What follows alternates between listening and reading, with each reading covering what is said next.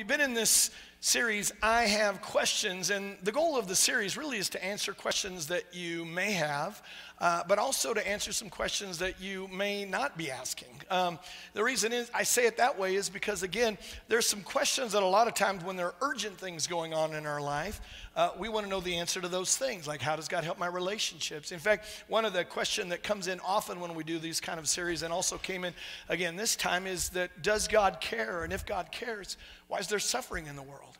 And, and I thought that was an incredibly good question, especially when you're in the middle of suffering and going through some stuff. So, as I kind of began looking into it, I recognized I probably wasn't going to be able to do it um, just in one message. And since next week is Mother's Day, I didn't want to do a message on suffering on Mother's Day. Because how many of you know most of us caused our mothers to suffer bad enough as it was, and they don't need to hear another message on that. And, and so today I want to answer a question that, as a child of God, you may not actually be asking it, but the moment I say it, we all kind of wonder, yeah, is that really something? And the, the question I'd like to answer for us today is how can I, how do I hear God's voice? How, how do we learn to hear the God's voice? And so today I want, I want to talk about actually hearing from God. And, and I want you to know that if you're here today and you are a child of God, that is actually is in your spiritual DNA that you were designed to hear from God. That you're, you're not a problem that you, you think I can't hear from God. You were designed to hear from God. But what many people fail to understand is that hearing is something that actually has to be developed.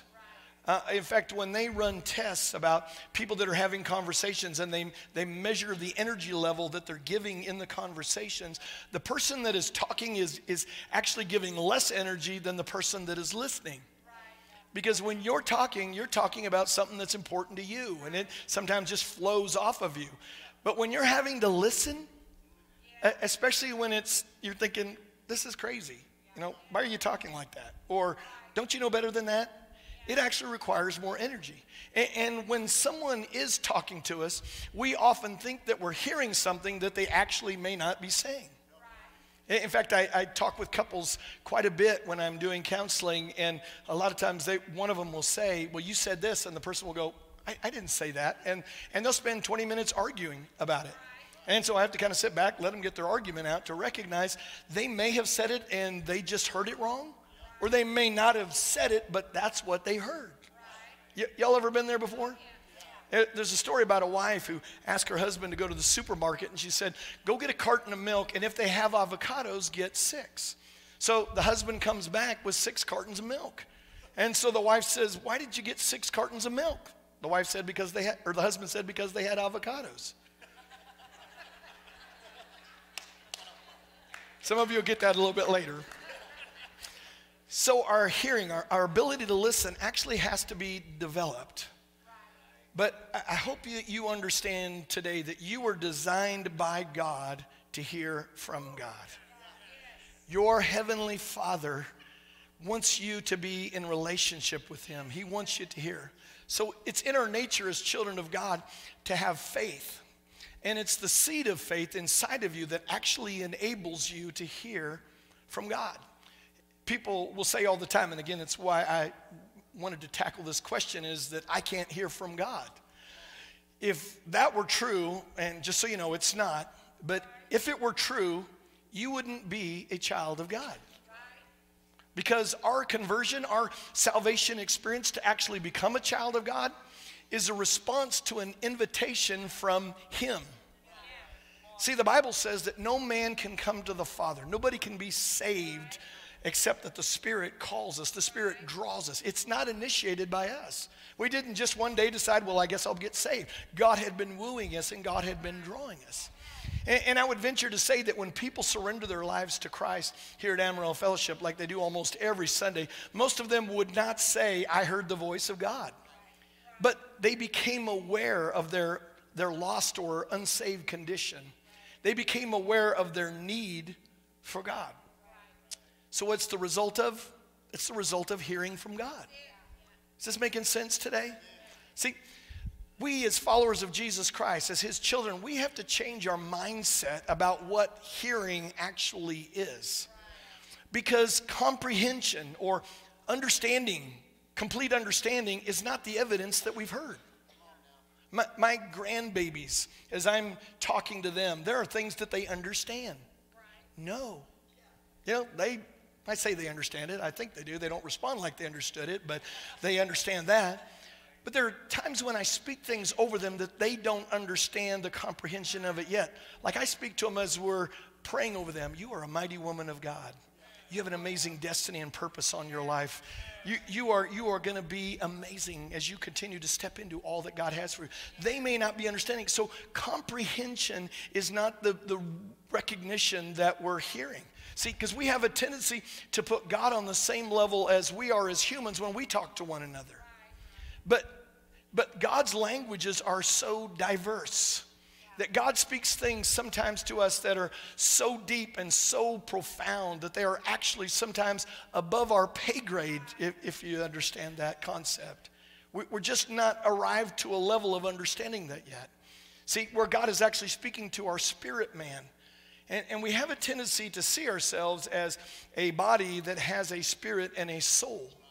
But you really, really actually are a spirit being. It is the thing that will live forever. It's the thing that when you give your life to Christ, it becomes a brand new creation. Your soul is being saved, your, your, your body will one day be saved. But you're a spirit being, and God, when God speaks, He speaks first of all to our spirit man. He makes a deposit that may take days, weeks, sometimes even months to actually unfold. But He's speaking to us all the time. Like someone in business who makes a decision that just seems brilliant. They, they make this decision and it's a, it's a gold mine. They, they invested somewhere, they did something, and wow, these amazing things started showing up. Or say with a family member or a friend, you, you give this gift to them, just kind of unaware of what's really going on, and it was so timely. You, you didn't even know that they needed that. And, and we often assume that brilliant idea or make that timely decision, not realizing that God actually spoke to us. He was actually speaking. He actually spoke during the night or weeks or months before, but we sometimes don't make the connection between God speaking and the idea that we had. What we typically see as a brilliant decision or some lucky coincidence was actually the product of the voice of God that He speaks. Now, How many of you would say that you've been in a season, or maybe you feel like it's been your entire life, where you just feel like you're not hearing the voice of God? Show of hands. But maybe you're sensing His presence. Like maybe this morning during worship, you feel like, I don't hear the voice of God, but man, in the moment of worship, you suddenly begin to feel His presence. That's His voice. That's, that's his voice. And when, when I'm preaching and I'm speaking and reading passages of scripture through his word, his, his word is his voice. See, when, when the word shows up, that is his voice. We, we don't often interpret it as his voice, and yet that's actually what it is. See, it's clearly the voice of God as it's, clear the voice of God as anything that we hear. See, one of the ways he speaks is through his word. One of the ways he speaks is through his presence. He begins to just connect with us. You, you walk in into a service and you've had a challenging week that, man, just seems like all hell broke loose. And suddenly you're singing a song and all of a sudden you feel like the presence of God comes down and he wraps around you. And you feel him just loving on you. Man, for me, honestly, as I sit up here in the front and I'm worshiping God, sometimes I, I just start bawling because I feel God talking to me with his presence in those moments. See, Jesus said this in Matthew chapter 4, verse 4. It is written, Man shall not live on bread alone, but on every word that comes from the mouth of God. See, we are alive today because He speaks. We're alive. The fact that you and I are here today is evidence that He speaks. He speaks things into existence. You think about the world. We think about Genesis chapter 1, that in the beginning God spoke and the worlds were created. We don't recognize that God is still speaking to create things in our world. So, how do we do that? Well, we have to learn how to live by faith. Again, Romans chapter 10, verse 17, one of my favorite verses says this So faith comes from hearing, and hearing by the word of Christ. In fact, would you say that with me? So faith comes from hearing, and hearing by the word of Christ. Can we say it one more time? So faith comes from hearing, and hearing by the word of Christ. Now, I've always taught, and I still believe it, that faith comes when we, we hear and we hear and we hear and we hear the words of Christ. But I think there's a, a, deeper revelation that God is actually wanting us to understand, something we've been missing, something that God is actually trying to tell us from that verse. And it says that faith comes from hearing.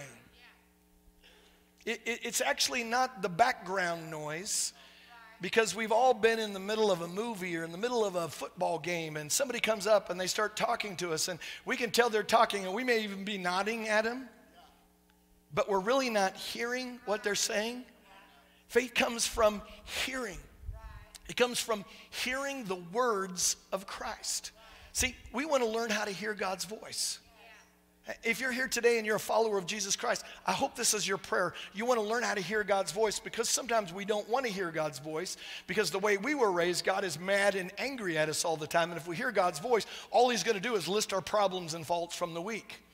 Just so you know, that's not the voice of God. The Bible says that God takes all of our sin, He casts it as far as the east is from the west, and He remembers it no more. He doesn't remind you of your sin, He reminds you of your righteousness. He reminds you of who you are in Christ Jesus today. So I'm hoping that you're, after today, going to get a fresh hunger to hear God's voice so that you're finding something, so that we're not finding something in addition to Scripture, but we're clarifying what has actually already been written in His Word. Because that's what man does. Man adds to the Scripture to try to clarify, and God's going, no, no, no. Listen, it's the Word of God. God the Father spoke to Abraham about sacrificing his son Isaac on the altar. And as the knife is coming down in the, in the, in the midnight hour, if you will, God says, Oh, never mind. Don't, don't do that. Now, I don't know about you, but I know that Isaac was pretty happy that his father kept listening to the Lord. See, many Isaacs have been slain, many things, many promises that God has birthed in our life because people have listened to what God said, but they stopped listening to what He's saying. Because what God said to us 20 years ago might have worked back then, but God wants to say something fresh to us right now. And it's actually the present tense voice of God that actually causes faith to operate and manifest in our lives. That we're hearing Him in that moment. It, it's the very nature of faith implies that you're actually hearing. See, the fact that I have faith means that I'm hearing. Let me say that again. The fact that I have faith actually means that I'm hearing. Remember, I talked last week about faith is actually a gift. I didn't do anything to earn it and deserve it, God gave it to me. That's what's happening when a situation comes up and you're believing God for a breakthrough. You see the problems, you're, you're not unaware. See, this week, I'm not unaware of the sickness I have in my body. Okay, I'm not unaware of the, the attack of the enemy. But what I'm more aware of is the promises of God. So, in God's timing and in His moment, I'm trusting Him. Well, Richie, isn't that just kind of positive thinking? Yes. As opposed to negative thinking? Yes. In my Wednesday men small group this week, they were telling me a story about a man who, who lost his job um, uh, his home got damaged. The insurance isn't taking care of it. He's actually going to have to move back to Florida.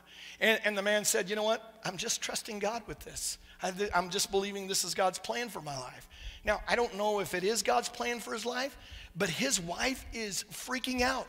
She's distressed. She's freaking out and just going, Oh my God, what's going on? Both of them are going through the same situation. How many of you know the husband is going to be a lot more at peace? He's going to be a lot more relaxed than the person that is freaking out. Now, I know what some of you are thinking. Well, Pastor Richie, don't they need to be concerned? What you're saying is, don't they need to worry? No, I think the Lord, the Lord was pretty clear on that for us not to worry. And what you're going through, you're going through it, but you're going to come out the other side. So when you're believing God for a breakthrough, it's because you have a hope, a confident expectation in the goodness of God. How did you have that faith? God spoke. He spoke through His word, and it became illuminated to you and alive to you. See, it's my hope and prayer that what I'm sharing with you today is that we begin to broaden our perception. We begin to broaden our perspective of how God speaks to us. That it's not the voice of Charlton Heston if y'all remember those old movies, Ten Commandments, I always say things that date myself, so you'll just have to forgive me. But Charlton Heston, this voice, that's not always the voice of God because God speaks in multiple ways. He does. He speaks to us through His Word. That's, that's honestly the primary and foundational way. But he speaks to us through his word. He speaks to us through situations. He speaks to us through circumstances. He speaks to us through other people. He speaks to us in a still small voice where all of a sudden we're alone and he just drops something in our heart. But the main thing that we need to understand is that you are designed by God to perceive and hear the voice of the Lord. You were designed by God to hear from Him. It's already in your design.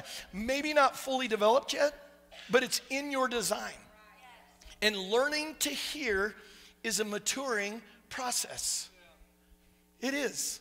It, it's taken me a while to mature as a husband to learn how to really hear my wife. Amen, guys? It takes a process. So there's a maturing process. Here's how Hebrews 5 puts it it says, But solid food, the, the, the meatier things of God, are, is for the mature, who, because of practice, have, have their senses trained to discern good from evil. They're, they're having their senses trained. We're, we're training our senses. Human physical senses. They can actually be trained by immersion in the presence of God. Now, that doesn't mean I have to come to church to be in the presence of God. It means that I start in the morning with the presence of God in my quiet time, in my Bible reading, in my prayer time, and then I invite Him to go with me all day long. That everything that I'm going to be dealing with or situations that I'm going to come up against, I'm asking the presence of God to be with me in those moments. And though, being in the presence of God is what trains us to distinguish good from evil. Now, I don't know if you were aware of this, but when they train people who work in the banking system to, rent, to recognize counterfeit money, they only study real money. They don't, they don't study counterfeit money, they only study the real money. And they become so exposed to the real that the counterfeit begins to stand out. They may not even know why. But they're looking at it and go, man, that coloring just seems off a little bit, or, you know, it just doesn't feel quite right. But they recognize something is wrong, and that's how we learn how to discern good from evil. We don't discern evil by studying evil. We don't. We get so immersed in the presence of God, in the goodness of God, that we're thinking about Him all day long that anything that doesn't fit in His nature, we start recognizing as evil. So we have to learn by learning how to stay immersed, okay? And again, I'm not talking about you closing your eyes while you're driving down the highway praying, all right? You keep your eyes wide open. But I'm just talking about having those conversations with God that you're listening all the time. So we, we learn how to stay immersed in His presence because presence is His voice. The presence of God is God speaking to us. Again, I love it again when He's wrapping His arms around me, telling me how much He loves me. And sometimes we're not ready to actually understand or move in what he's saying. And, and, that's what often happens even when we're worshiping. We, we sense the presence of God, and the, the Spirit of God, is, our spirit is connecting with His spirit. Listen, I want to encourage you in those moments, don't be too quick to try to analyze what He's doing. Don't, don't analyze it. Just be quick to be a pliable child to just kind of lean in, be like a sailboat, get your sails up and allow the wind of the Holy Spirit to direct you into things that God wants to do in your life. See, we don't discover God through analysis. And this is where some of you get really challenged because you think all of the things of God are have to be understood right up here. It has to happen down here first. It, God, God reveals himself to a surrendered heart, to people that are surrendered to Him. It's, listen, it's not that understanding is wrong.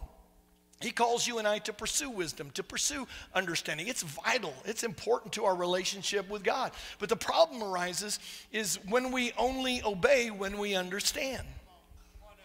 And sometimes I read some things, especially early on, and I was like, I'm not sure what that means. I'm not sure how to do that. We need to be ready to obey all the time because when then if we if we do that, if we only obey when we understand, then we actually have a God that actually looks like us.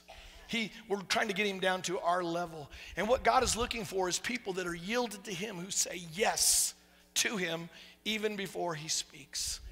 In, in fact, it's the heart that says yes even before God speaks that actually attracts his voice, that, that makes him want to jump in with us. And so, again, we have this verse in Romans chapter 10, verse 17, so, that says, So faith comes from hearing, and hearing by the word of Christ. Listen, God will not speak inconsistent with his word. Let, let me say that again because I hear people from time to time telling me that God's told them to do something that I know is so inconsistent with His Word, and they know it's inconsistent with His Word. God will not speak inconsistent with His Word. That's why exposure to His Word helps us recognize the right voices, but it also helps us recognize the wrong voices. There's a story of a family, and they're driving on a mountain road, and suddenly the son from the back seat says, Hey, there's a boulder in the road around the corner. So the father slows down and goes around the corner, and sure enough, there's a, there's a big boulder sitting there. I, impressed that his, their son could actually hear from God, the, the parents start asking, What else is God saying? And the son said that we're supposed to go to McDonald's. See, that's probably typical of most of us. I, I got it right once, so let me see if I can extend it to my will right? I've, I've, got a great plan for my life. I heard God once. Let me kind of tell you what my will is. So, again, faith comes by hearing.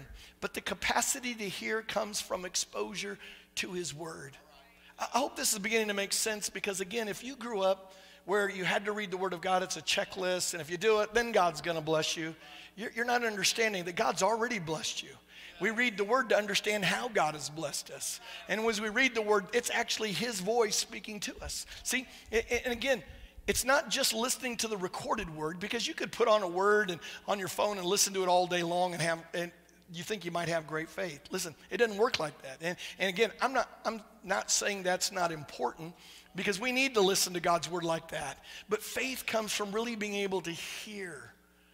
You're really hearing, sometimes it would be better to read a few verses than multiple chapters just so that you can hear, hearing the living voice of God. listen, as you read the Word of God, and again, sometimes we read it and we don't fully understand it. You may not even be fully aware of what was just said. But sometimes we know that something was just deposited in our life. There have been so many times in my life that I've been stuck in a passage that I just couldn't seem to get away from. Has that, that ever happened to you? One of them for me is the, of the seed and the sower where, where I just couldn't get away from the passage and I didn't fully understand all that it was saying, but there were little nuggets of truth that kept coming down, little things that God kept downloading into my life. Listen, it's passages like that that grab us. That, that we have to go, I want to lean in to hear what God is saying because something is happening on the inside of you because of what you just read.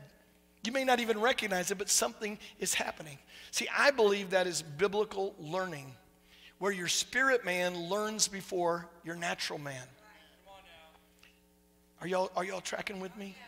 Your spirit man learns before your natural man. Again, it doesn't mean that we're not supposed to pursue understanding. It doesn't mean that we don't want to understand. I want to understand. I want to be able to explain what I'm learning.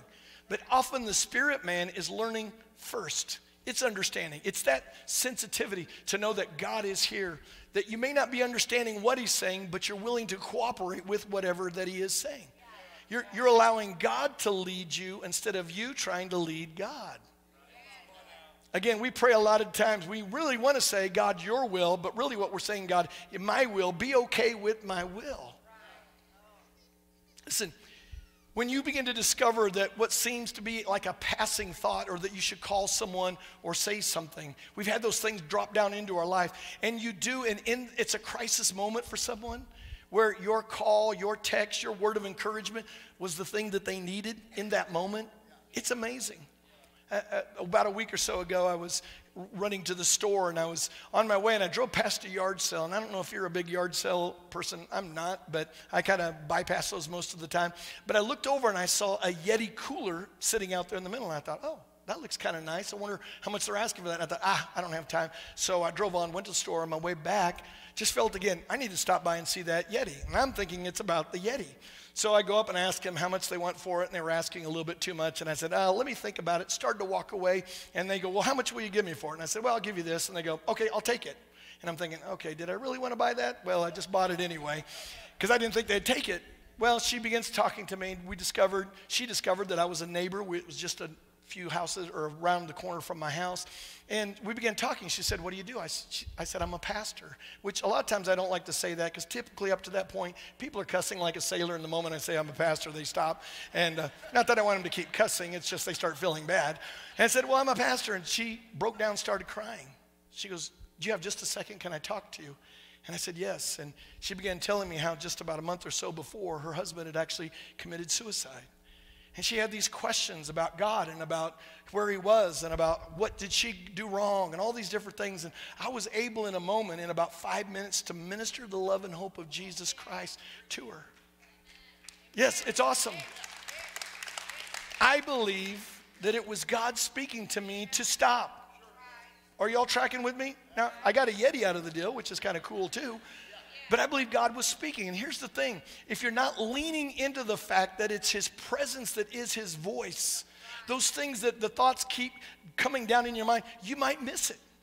You, you might miss an opportunity to speak life to somebody. You, you might speak an opportunity to share the love and hope with somebody. There's this other passage in Hebrews chapter 1, verse 3. It says this He, talking about God, upholds all things by the word of His power.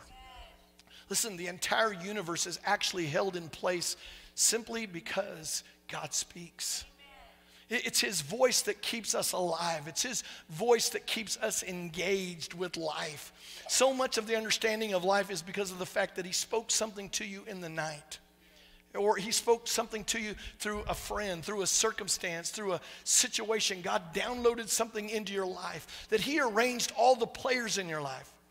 I'm, I'm always amazed at how complex and amazing God is, that He brings people into my life that are there to say a word for me that they don't even know what's going on, to deliver a piece of information at the right place and at the right time that help me make a decision later on in life or help me through a crisis moment of my life.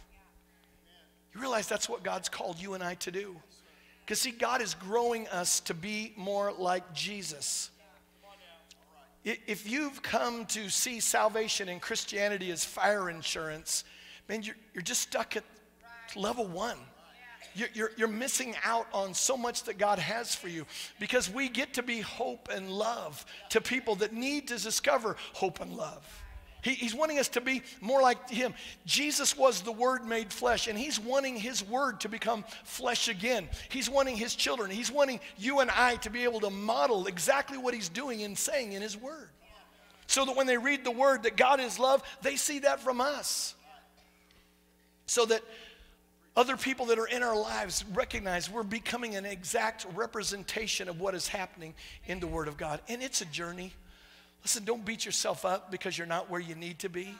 Keep leaning into what God is saying. How do we do that? Faith comes from hearing and hearing and hearing, but the capacity to actually hear, the emphasis of hearing comes from the Word of God. Jesus taught in parables. I think it's interesting when you read that and discover that he taught in these parables. And he taught not just to illustrate biblical truths. Now, he did teach in parables to illustrate truths. But when Jesus' disciples asked him why he taught in parables, in Matthew chapter 13, Jesus explained to them why he taught in parables. Jesus said that he taught in parables so that those who don't understand won't understand. Now, we kind of think that seems a little bit unfair. But let me put it to you this way so that it makes more sense of why Jesus taught in parables. Jesus hides the truth in parables so that those who are not ready to obey will not understand.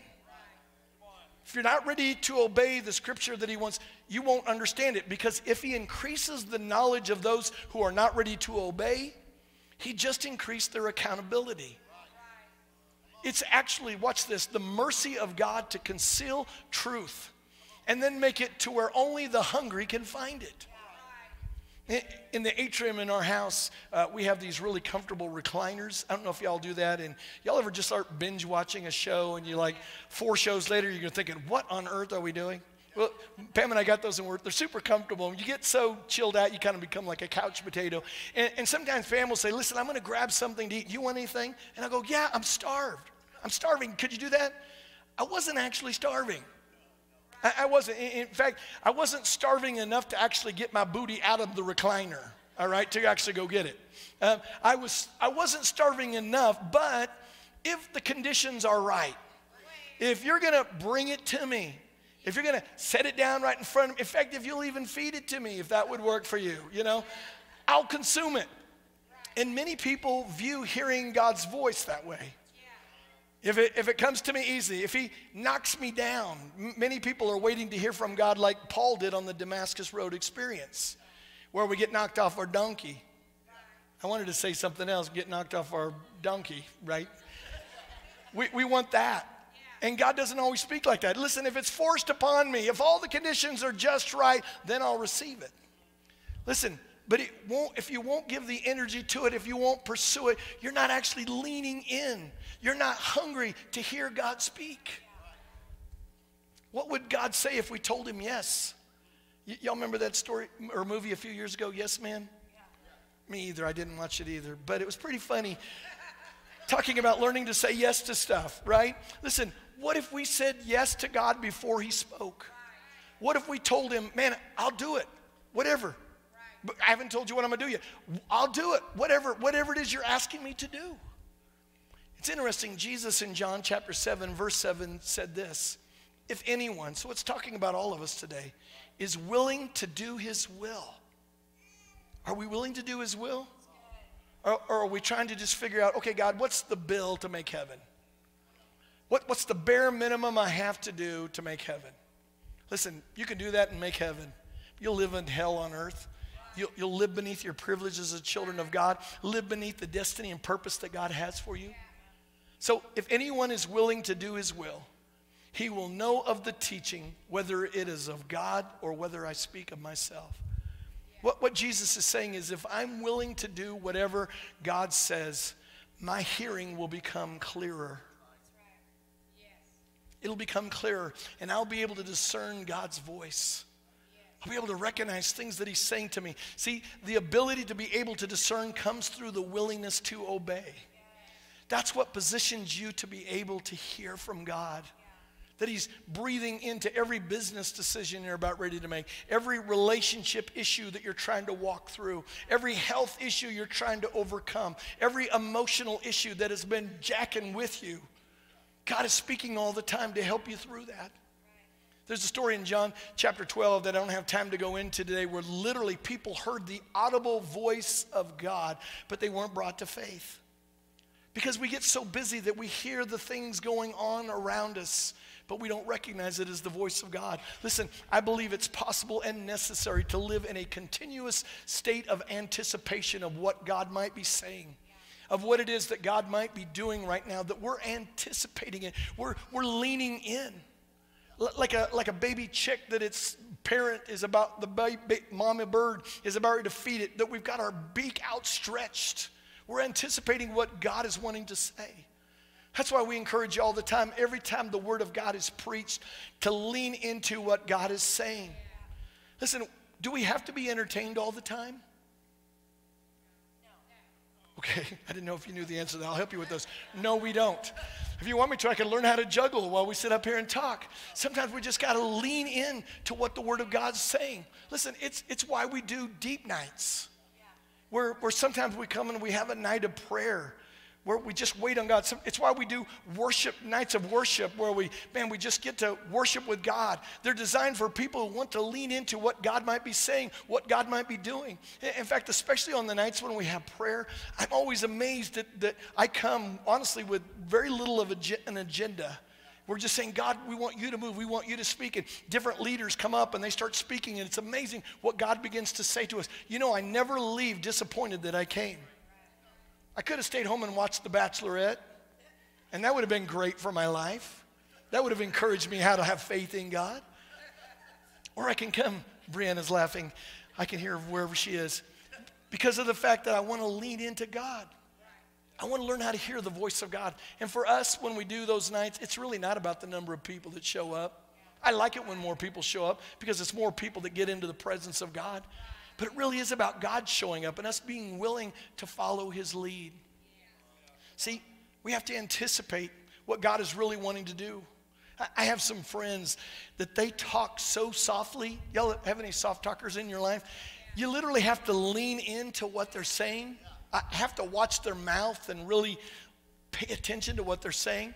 Or, or, maybe for you, it's with your kids. Your kids are on the phone with their boyfriend or girlfriend and they're talking really softly. And so, as a parent, you're kind of really leaning in. Y'all know what I'm talking about? Some of your kids are sitting next to you and you don't want to give away secrets, but we do that. See, the whole point is when we want to hear, we lean in. We do. We, we, we anticipate. We, we give it our undivided attention. There, there are a lot of times when I go to my HIIT class um, in the mornings, and man, I do not want to be there. I mean, I literally do not want to be there. And if I'm not careful, I'll just kind of mail it in.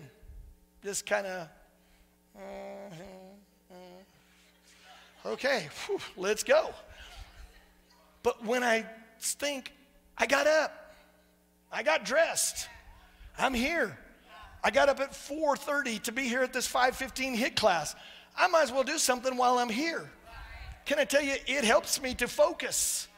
And when we come into the presence of God, whether it's in a service like this or we're having our quiet time, if it's just a checklist, we're missing the point.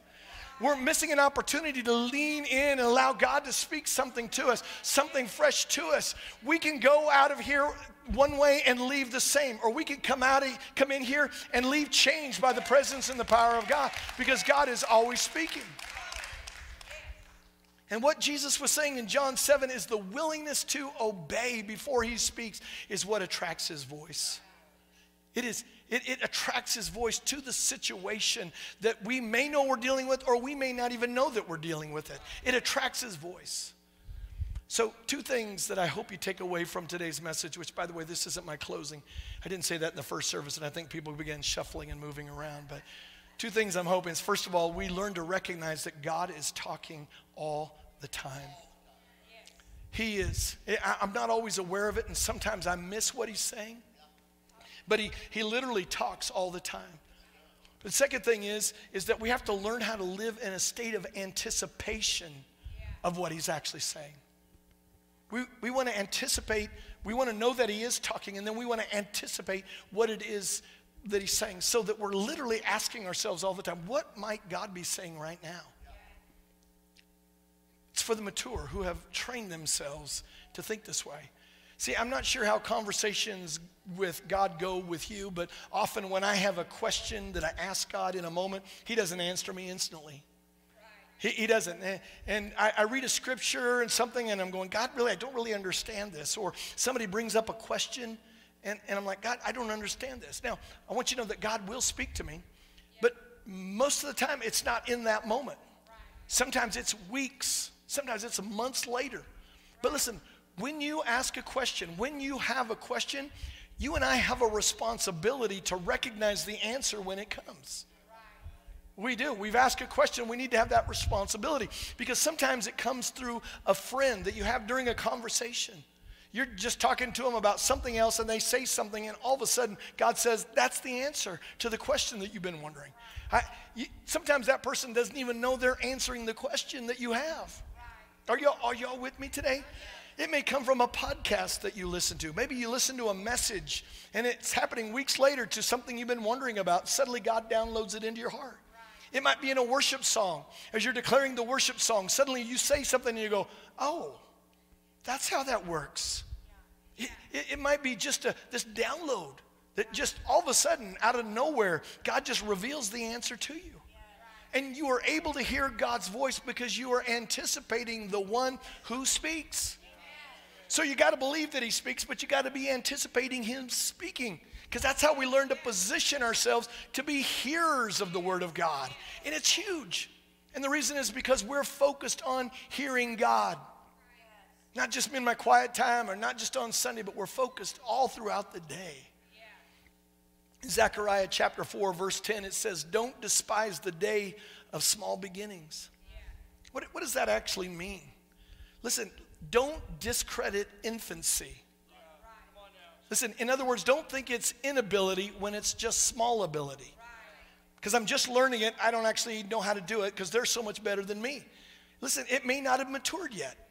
It may not have matured yet in your life. When you discount or discredit the progress that you've uh, over already made, you miss out on what God has for you. You, you, you start criticizing it. And you start thinking of yourself uh, as something that you're not when you actually are something that you are, God says you are. And you start hurting the progress. Is, is that making sense? In, in other words, I, I can't be, I'm not where they're at, I can't do it. That's not right. You're just not as far along as they are. Have you ever been around an overly critical person? Nobody nudge anybody. This happens a lot in church. The Spirit of God's moving, and you turn and say to them, Man, isn't God's presence amazing? Don't you just feel God's presence? And they're like, No. And you go, Well, He may not be moving in the three, circle, three foot circle that you're standing in, but He's moving. I can feel Him. Listen, that critical spirit that, that attacks us, whether you're a pastor, a leader, a worship leader, small group leader, just a tender, Anybody that is actually growing in the relationship with God causes you, if we're not careful, to see small ability as inability. Is that making sense? Somebody's got great revelation, you don't have it yet, so you think you can't get revelation? So it causes small ability to, for us to see it as inability. And if you're careful, not careful, it will cause you to despise the day of small beginnings. I've watched God do incredible things here at Amarillo Fellowship, and I watched the critics. And I'm talking about people who come here, people who actually like us and love us. I watch them critic. And if I'm not careful, and if we're not careful, we can allow them to dig up a seed and kill it because it's not full grown yet, because it's not mature yet. And, and, when I look around and see all the powerful ministries and ministers who are having these incredible moves of God, and they're doing various ministries and ministries similar to what we're doing, but, but those ministries are, are like this delicious, fully developed apple. Yeah. And, and I, I, look and see what we're doing, and it feels like a really small apple. Yeah. It's just beginning to kind of form on the tree, and it might be a little sour, might be a little bitter but it's 100% apple. Listen, and if you don't steward it into maturity, you start discrediting it and it never starts becoming mature. Now, apply what you're what I'm saying into our ability to hear from God. Uh, here's what I want to encourage you to today. Never say again, never imply again, it's hard for me to hear the voice of God. Never say it because it's actually in your nature. You are literally hardwired and designed by God to hear from God. Everything about you is wired and designed to perceive and recognize and have fellowship with Almighty God. That He wants to have a relationship with you, He wants to dialogue with you. See, your, your thought should be I'm not where I should be, but I'm not where I used to be.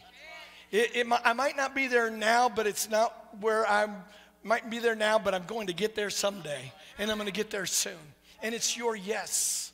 This yes to God before He speaks that positions you to lean in and anticipate what it is that God is saying to you. And most of the time, it's that when God is speaking to us, it just becomes this real subtle impression that we suddenly hear. It feels like a passing thought. Like for me recently, one of the things was, say it's sold in Jesus' name. Just had this passing thought. And, and it's that impression, that passing thought, that just is easy to miss as it actually is to get. It wasn't demanding, it was actually, you actually had to lean into it. You actually had to recognize what it is that is being said. Because at some point in a relationship with God, if, if you really want to go to the next level in your relationship with God, you're going to have to get tired of guarding your dignity and your reputation. See, God downloads things into many of your lives for a word for somebody around you. And, and I know why we get scared. If you were raised the way that I was, if anybody ever felt like they had a word for somebody, it'd always be, Thus saith the Lord. Their voice would change, you know, and then sometimes it didn't happen, and you're like, well, I guess that's not what God said. But it's the willingness to step out when you feel like God's dropped something in your heart for somebody around you or a family member that you just step out and go, listen, here's what I'd encourage you to do it, how I would encourage you to do it. Go up to him and say, listen, this, this may not be God, but what I really felt like God's saying to me right now is that, hey, what you're going through, you're going through and you're going to come out the other side. Or, hey, here's the answer to the question that you have been asking, and you just step out in this moment of faith. It's that, it's that type of thing. See, what if I step out and what I thought God was saying wasn't really what God was saying and nothing happens? Well, nothing's happening now. Right? right? So why not step out and trust God? So, a little over a year ago, I'd been trying to sell a car for a while. In fact, I had no bites on it for months. And one day I'm driving by the car and I just felt impressed to say, You are sold in Jesus' name. So I yelled it at the top of my lungs. You are sold in Jesus' name. Now, I had read a book a few years before that about a, a famous minister who actually had, had some houses he was trying to sell, and he said that, You are sold in Jesus' name. And they sold. Can I tell you, the next day, a guy called me about my car and he gave me more than I thought I was actually going to get from it. Do, do you think that that matters? I do think it matters. I think that when we start projecting faith, God begins to showing up. And the point that I'm making is it's not about the prophetic, and I'm for the prophetic. It's not about signs and wonders, and I'm for signs and wonders. I'm for miracles showing up in our life. It's about the fact that God is always speaking, and you have the ability to always hear what He is saying about everything and anything that you're walking through. But we got to lean in.